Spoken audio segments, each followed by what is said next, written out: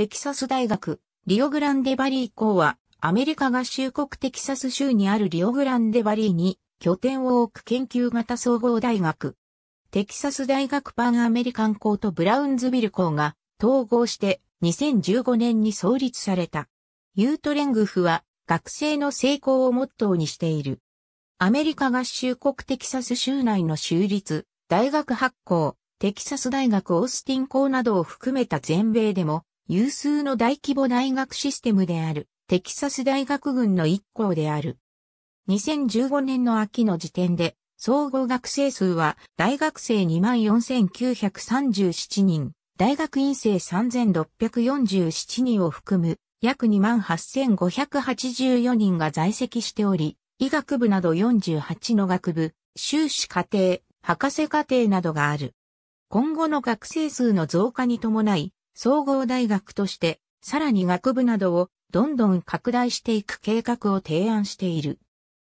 また研究活動に大変力を入れており、すぐに全米のトップ校の仲間入りを果たすと宣言し、全米から研究と教育が両方貢献できるトップクラスの優秀な大学教授を意欲的に雇ったり十分な研究費を与えるなど、研究大学としてさらなる発展を視野に入れている。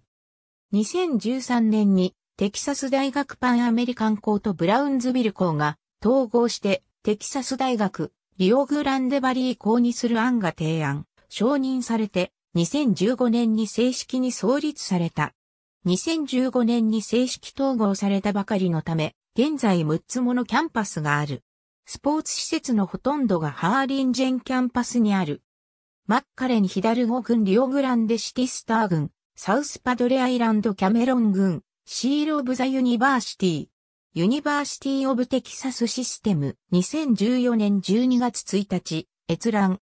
Endowment Information、utimco.org、2017年5月14日、閲覧。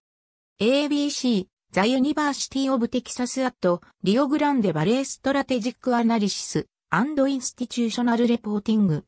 The University of Texas Rio Grande Valley。2016年4月11日。閲覧。ファカルティスタッフ。2015年10月31日時点のオリジナルよりアーカイブ。2017年5月15日閲覧。ユートレングフ。utrgv.edu。2017年1月22日閲覧。ありがとうございます。